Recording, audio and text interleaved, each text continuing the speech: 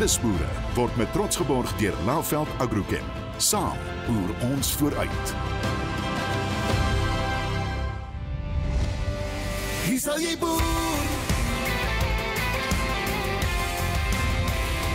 Hier sal jy boer.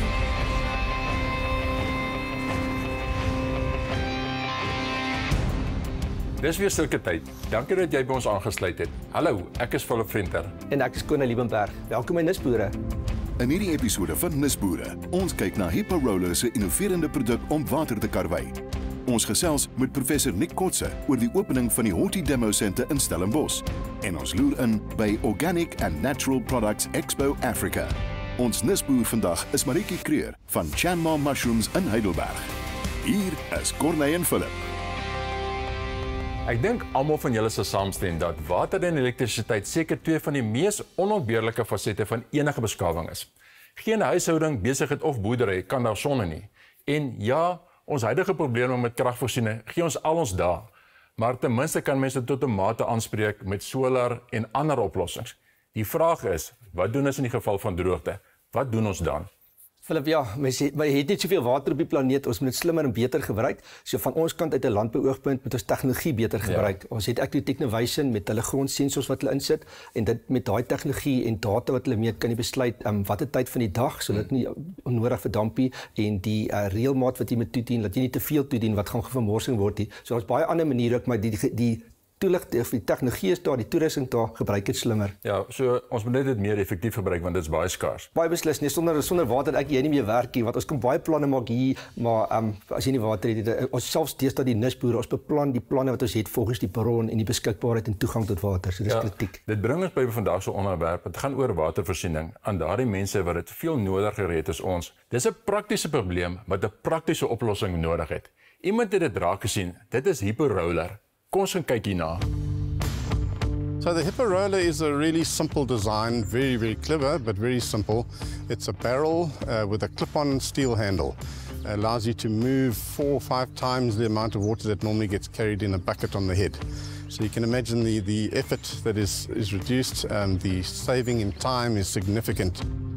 I met Lawrence a while back. We were talking about doing some business in Ghana. What he put together is really clean and simple and neat, and the whole garden fits inside the Hippo Roller, which is phenomenal. Daar is 'n druppelsproeiing stelselpie uh, saam met die Hippo Roller uh, ontwikkel en ontwerp. Ehm um, ek was so 'n paar maande terug in Ghana, het ons gesien dat om water, toegang tot water te hê is, is is uiters belangrik, maar jy kan nie net aan die lewe bly met water nie. So daar was ook 'n groot behoefte vir uh van die huishoudelike boertjie boere en en in gemeenskapsmense om 'n uh, bietjie kos te plant en 'n druppelsproeiingsstelsel te hê. Eintlik maar net hulle plante water te gee. So ons toe gegaan en 'n en 'n druppelsproeiingsstelsel gravitasie 'n druppelsproeiingsstelsel ontwikkel met 'n filter, met pype, met 6 lyne, uh 6 meter lank per lyn en daar's omtrent so 180 drupgaatjies vir plantjies wat jy dan kan kan water gee. Dit gee ons maar net 'n bietjie voedselsekuriteit vir die mense ook saam met die Hippo roller om dan self kos te kan plant. Saam met die uh, Hippo roller en die druppelsproeiingsstelsel gebruik ons die Agriculture Laaveld Agrochem saadpakkie. Binne in die saadpakkie is 'n uh, klomp pakkie saad onder andere. Daarso is kunsmis, daar's pesticides, herbicides, alles wat daarmee saamgaan. Dis 'n hele groentetuin op sy eie.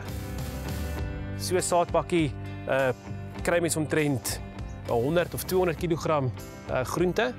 Jy is nogal uitge, uitgesorteer om jou om kos te gee vir 'n vir 'n hele rukkie as jy so 'n hele kompleet stelsel het. Dit baie groot voorreg om vir Grant en vir Lawrence hier vandag by Nisboere. Jy welkom te eet en ja, wat 'n ongelooflike ongelooflike uitvinding. Sê waar dit begin, wie dit uitgedink? I um found the roller back in 1993. I got involved, but it was actually designed by two other South Africans, Petty Petzer and Johan Jonker. Mm. Um, they were engineers, but they grew up on the farms. So they mm. saw ladies carrying heavy buckets of water on their yeah, head for kilometers. yeah. And um, they tried to develop a wheelbarrow with a molded tank for a low center of gravity. Mm. And they kept running into the issue that the wheel was the most expensive component. Mm. And that's when they got their eureka moment. Let's put the water in the wheel and you, you can't simplify this any more than that. Yeah, um, really brilliant. You don't need to pick up the weight, you just need to roll, roll it along the ground. Much, yeah. much easier. Maar waar het julle met die naam van Hippo gekom want waar is die voetjies in hierdie It's, it's interesting. when it was first um, awarded, its first award in 91 from the SABS Design Institute, it was called the Cullinan Design Award. Um, it was known as the Aqua Roller. Yeah. Um, it's better in terms of international understanding of water roller, but they wanted to give it an African flavor because this is where we originate from. So if you imagine a, a hippopotamus with a thick skin, a round body, living in water, that it was a very good um, match. Yes. Ek sien amper letterlik hier so 'n uh, oplossing vir 'n probleem aangerol kom. Uh, nou is ek te bang om te vra wat kos so 'n oplossing want ek kan sien hoeveel probleme dit vir ons gaan oplos. Yeah. Wel Corneille, ja, kostegewys uh, sal ek sê die die die roller met 'n drip besproeiingsstelsel wat ons ook bygesit het om 'n om 'n hele oplossing te skep. Ja. Is sien so oor die R3000 vir die hele vir die hele applikasie. Ja, so, ja, so al hierdie goed wat dan ingesluit is en hoe lank gaan dit vir jou hou omtrent? Uh 'n hyperroller is ja, sy sy sy leeftyd is so tussen 8 en 10 jaar. So dis 'n baie lang tyd wat hy wat hy gaan hou. Hy word gemaak met 'n baie dik plastiek. Hy word gerouto mold. Ehm um, so ja nee, so so 8 tot 10 jaar. Uh, ja. As jy foute my kan, mens nie gevra wat kos dit. Ek moes gevra wat is jou belegging? Want dit is dan 'n belegging in voedselsekuriteit. Ja nee, 100% 'n belegging as jy moet vat uh wat jy wat jy inset en vir hoe lank hy gaan hoe lank hy gaan hou, dan is dit versekerde belegging. Jy sien, ons dink nou die hele tyd toe ek nou die hyperroller aanvanklik gesien en gedink het dit is nou vir die huishouding vir water, drinkwater, skottelgoed was en alles, maar eintlik is dit meer veeldoelig want jy sê nou van die besproeiingsstelsel verduidelik hoe hoe jy na idee gekom en hoe werk dit? Ja, hy het so so so so so 18 vierkante meter druppesproeiingsstelsel wat ons bygesit het. Daar's omtrent so 150 druppunte op die druplyne wat beteken jy kan omtrent 150 plantjies of saadjies plant in hierdie hele stelsel en water gee. So so ons het nou water, ons het besproeiing, ons het kos. Ja. So nou het jy die hele die hele ekosisteempie gevoltooi alles. Jy het nou die hele sekuriteit, kossekuriteit ingesluit met die met die wateroplossing. Ja, die oolikse praat van kossekuriteit vir die armste vir armes, dan dink ek dadelik aan CSI projekte goed, maar wie is julle beleggers en die ouens wat hierdie tipe goed koop en hier investeer? Essentially, we've um, target sponsors and donors. So, um, and it ranges from NGOs Yep. that have funding, church groups, missions. Mm, um, but the truth is, um, the corporate social investment um, market sector is a very big one for us. So we we do branding. We can color code the drum to match a corporate identity quite easily. We can put logos on the roller. Um, we can even put banners on the handle if they want. Oh, um, nice. there, there's a variety of ways of doing that. Um, and that just helps um, so justify the, the corporates from getting involved. And some, some corporates don't want to show what they're doing, but most do. And I think they're Oh, entitled to not? get a return on their investment. What would be a minimum order to make it worth your while to brand it? Um, well, if we do the, the permanent graphics, that's very nicely done. Um, about 500 units Ach, yes, per, yeah. per print run. If everyone buys into this, really, uh, that's it. That's why I do this kind of programs. We want to solve problems of African get go forward. So I really hope people's gonna uh, take this initiative forward. Yes, no, thank you. Appreciate that. Laurens sê vir my waar gaan mens hierdie hyperrollers kan kry in die besproeiingsstelsel? Die beste gaan wees om vir Laveld Agrochem te kontak ehm um, en en te vra vir die hele uh, hele uh, oplossing pakket wat 'n mens kan kry met die saad, die besproeiing en die roller. Alternatief, uh, Hyperrider se webwerf is daar. Hulle kan na die webwerf gaan kyk. Ehm um, ons sal hulle weer die mense in kontak sit met julle. So ja, maak gerus met Dit maak my kontak. sin want ek sien hierdie geleentheid dat as die saadpakkie daar binne sit, die besproeiingsstelsel gaan daar binne, jy weet jy, dis 'n maklike eenheid om te vervoer. Baie dankie Grant en Laurens dat julle ingeloer het. Um, ek's geweldig opgewonde as ek vir julle die Nobelprys vir vrede kon gee sou ek want julle los so groot probleem op. Uh, sonder water kan 'n mens nie. Uh, ons maak al die planne, maar is altyd beperkend tot toegang tot water. Ewe skielik het hier nou vir ons hele nuwe wêreld opgegaan. Op daai punt Corneil, dit is belangrik dat ons net aan ons kykers noem dat hierdie insetsel sowel as alle ander insetsels nou ook op die web beskikbaar is. Is heeltemal reg Philip. As jy dalk meer van hierdie programme of enigiets anders wil kyk of selfs net net met julle vriende wil deel wat ek baie sterk aanbeveel, moet julle so maak. Nisboere is elke week op die kassie, net hier op Via. Maar as 'n weeklikse dosis van Nisboere gewoon nie genoeg is nie, of as jy miskien weer na 'n episode wil kyk en dit selfs met jou vriende en familie wil deel, kan jy. So maak mens. SMS plaas na 32210 en ons stuur vir jou 'n ontvangserkenning SMS sonder verwyl. Klik op die skakel en ontsluit die info wrap. Vul dan bloot die klein vormpie in. Dis super eenvoudig en stuur weg. Voortaan ontvang jy al ons episodes plus insiggewende artikels en wenke. En dis so maklik soos dit. SMS plaas na 32210 en jy kry al ons episode plus nuttige artikels oor die nisboere wat ons op die program gaan wys. Nou ja, ons gaan gou-gou winkels toe. sien julle net hierna. Net hierna. Ons gesels met professor Nick Kotse oor die opening van die Horti Demo Centre in Stellenbosch. En ons ontmoet nisboer Maritjie Kreur van Chanma Mushrooms in Heidelberg. Nisboere word met trots geborg deur Laveld Agrochem. Nisboere word met trots geborg deur Laveld Agrochem. Welkom terug. Nou ja, dit bring ons by nog innoverende mense en planne. Jy praat van die nuwe tuinbos sentrum, die Horti Demo Center in Stellenbosch, né? Heeltemal reg, Philip. Ek en die Nispo span was by die opening het met prof Nico Kotse oor hierdie pragtige inisiatief gesels. Die Horto Demo Center is is eerstens 'n demonstrasiesentrum vir die nuutste uh, Hollandse tegnologie in kweekhuisbestuur, jy weet klimaatsbestuur en uh, produksie onder beskerming soos wat ons dit nou dikwels sou noem. Uh en natuurlik ook 'n uitstekende platform vir allerlei opleidingsgeleenthede. Nederland is 'n klein landjie soos ons almal weet. Uh dit is rofweg so groot soos Gauteng. Het ook ongeveer dieselfde populasie interessant genoeg as Gauteng, 16 miljoen versus 17 miljoen. En tog is dit nommer 2 in terme van wêreldlandbouproduksie in die wêreld. So jy kan dink dat hulle is absolute spesialiste as dit kom by kweekhuisbestuur en uh groenteproduksie onder beskerming. So daarom dit is by die hulle gaan aanklop het en het is 'n konsortium van vennote gevind uh of bymekaar gebring om die nuutste tegnologie in Suid-Afrika te kom demonstreer. Ja, vir laat ek ek om projekte soos hierdie te sien maak ons ongelooflik opgewonde. Ehm um, want kos is die antwoord vir die vir dis waarom die wêreld draai. Die hele wêreld kyk deesdae na voedselsekuriteit en planne en oplossings, maar om die suidelike punt van Afrika te wees en hierdie tipe innovasie en tegnologie te sien wat gelykstaan is aan die beste in die wêreld is regtig ehm, 'n um, riem onder die hart en maak mense trots en hier gaan baie goeie goed hier uit voortspruit in die toekoms. Van die nuutste tegnologie wat ons hierso gebruik en en graag wil demonstreer Ons weet Suid-Afrika is 'n baie droë land. Ons het dikwels probleme met watervoorsiening. So dis 'n ten volle ten volle hersirkulering van water en voedingsstowwe. Met die hersirkulering van water en voedingsstowwe is daar omtrent 'n 30% besparing van water, 'n 30% besparing ook uit uiteraard van voedingsstowwe. En ons weet almal dat kunsmis is nou ewe skielik 2 maal 2.5 maal duurder as wat ons gewoond is om te betaal. So dis een voorbeeld om net eenvoudig baie meer soos as as dit nou die woord kan gebruik climate smart te wees. Tegnologie is onmisbaar vir Suid-Afrika vir landbou. Jy kan nie meer um, weens die koste druk uh, 'n uh, lewensvatbare besigheid doen sonder dit nie. Um, baie het probeer, baie het geval, maar en die tegnologie is daar, die kundiges is daar om op wie se knoppie jy moet druk, jy moet dit net gebruik en hierdie is maar net nog 'n uh, baie pragtige uh, toonbeeld daarvan en uh, die regte vernotie uh, uh, hulp vanaf die buiteland van Nederland uh, kop het wat hier betrokke is. So en van Lavend se kant ons wil net um, uh, op op die rugry van hierdie innovasies en tegnologie dit maak ons hand soveel sterker in die veld daar buite om ons kliënte weer meer meer dinge te maak maar ook sagter oplossings vir die toekoms. Die mense is moeg vir vir harde chemie daar's baie weerstand teen dit en hierdie is absoluut toekoms om groener en sagter te gaan Die kernmissie van die Horti Demo Center is ek sal baie graag wil hê die plaaslike industrie moet dit gebruik as 'n platform om te kom en te kom kyk na wat se nuwe tegnologie ons hierso demonstreer. Maar dan tweedens ook die opleiding vir my is ongelooflik belangrik. Opleiding is natuurlik een van die kern uh aksies van die Universiteit van Stellenbosch. So ons gebruik dit tot voordeel van ons eie voor- en nagraadse studente.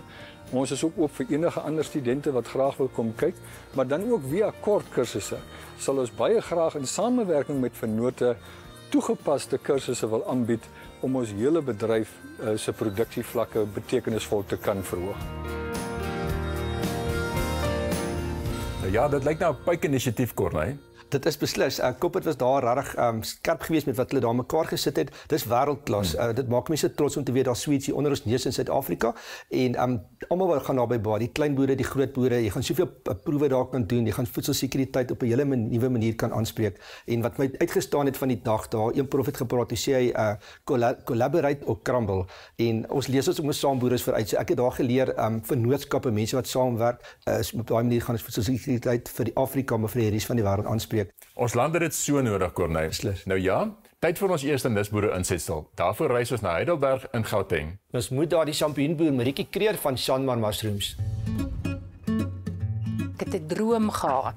Ek wou dit graag doen. So ek het baie jare baie jare vasgehou in daai droom en ek dit kon net nie realiseer nie. Ek het geweet ek gaan dit eendag doen. So was daai droom daar tot 2003 het ek uiteindelik my besigheid geregistreer. My mushrooms gaan maar na kettingwinkels toe, hoofsaaklik na plekke toe wat pizzas doen en dan na die varsprodukte markte toe.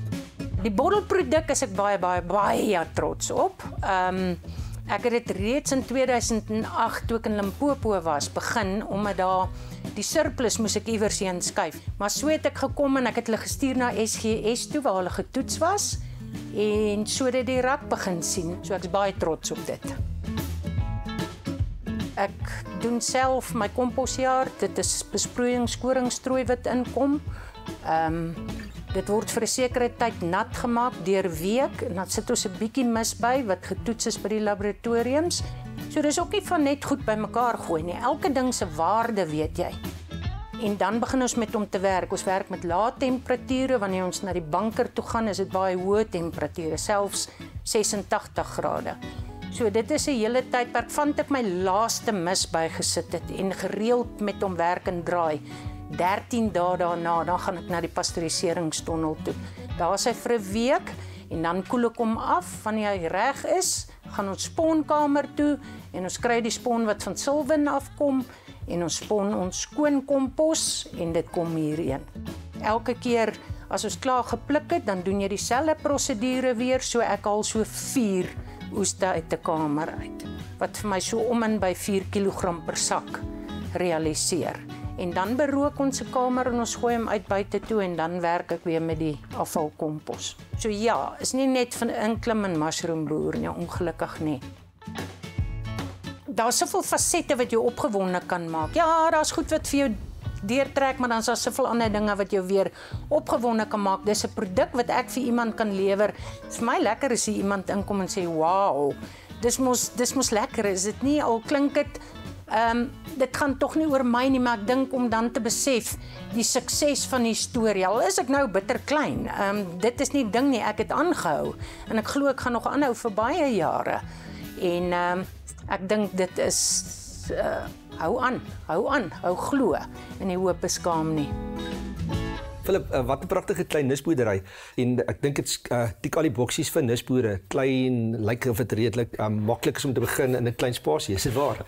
nee, jy gebruik die woord maklik. Ek dink glad nie dit is so maklik nie. Ek dink my skep partykeer die idee dat dit maklik is, maar as jy mooi oplet, is daar soveel wat vooraf gedoen moet word, veral met die kompostering. Kyk hoeveel tegnologie gaan daar in.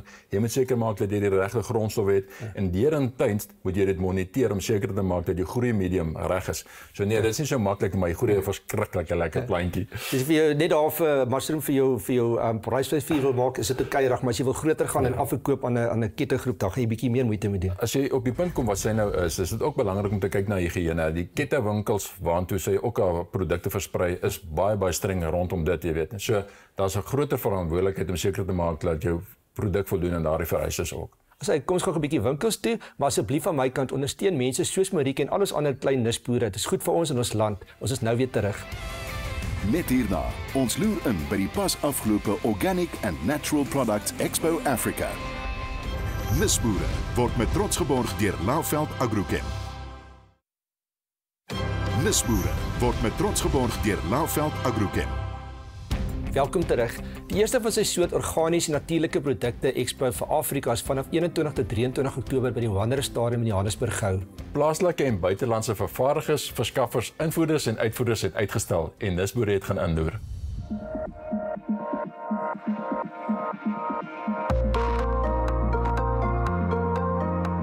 Organic and Natural Products Expo, um, focusing specifically on, as the name suggests, a cross section of organic and natural products. We say organic and natural because many guys are doing the right thing. They're, they're naturally producing their products, but they're not certified, so they can't physically say organic. So, organic and natural, everything healthy, everything good for you, good for the environment, um, from all kinds of categories food and beverage, cosmetics, essential oils, CBDs, um, and, and many, many more. So a very nice array. I mean, we've got uh, CBD Lux, for example, who do CBD products, but kind of a real medicinal type stuff, very, very certified, very authentic. Uh, they do their stuff um, kind of by, by, by, the book with medical grade uh, certification and analysis and what have you. So we've got those guys, a couple other CBD suppliers. We've got the Soorso tent, which is very much the farming community. Uh, Soorso being the sector organization, so they're doing all the work about getting the farmers doing the right thing. PGS is a, is a kind of a peer service where, where guys who have traveled the road before for, hold, hold the hand of smaller farmers and guide them on the road to doing things properly and, and ultimately getting uh, certified. Um, they also do a lot of stuff around um, around the the actual certification because typically it's done by international bodies. It's quite expensive out of the reach for smaller guys so they're producing a set of local South African standards. We've got some worm farming people which is also very interesting from a farming perspective. Uh, we've got some interesting talks also happening um, on, on kind of urban farming. At the end of the day everyone should be farming at home. No one should starve in this country. We can grow our own stuff. So really a, a proper range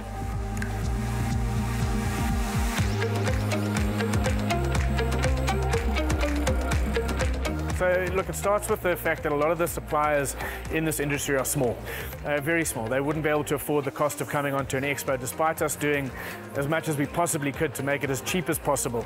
Um, still, it's out of reach. So, the development corporations, Free State, Northwest, the Innovation Hub, uh, Ghana, have, have, worked hard to bring together smaller suppliers and, and subsidize, if not sponsor, their, their participation. So, really bringing some of the smaller guys onto a level playing field with some of the bigger guys. And it's that's a critical participation within in the sector to bring more people to the fore.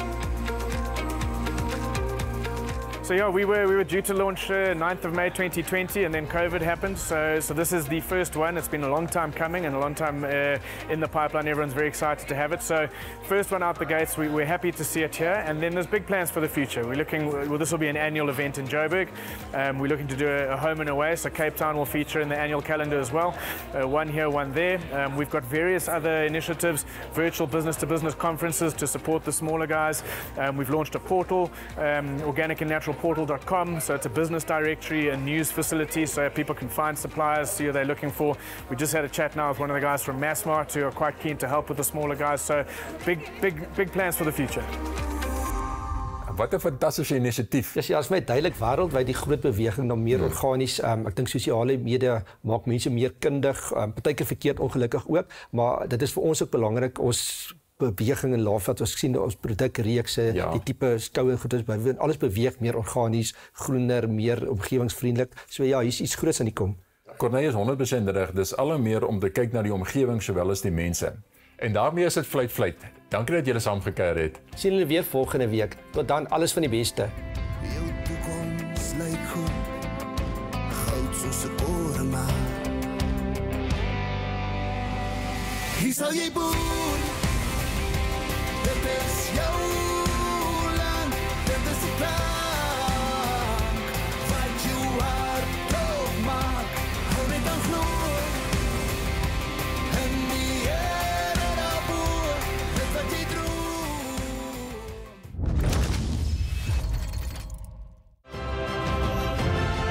Nisboere word met trots geborg deur Laveld Agrochem. Saam boer ons vooruit.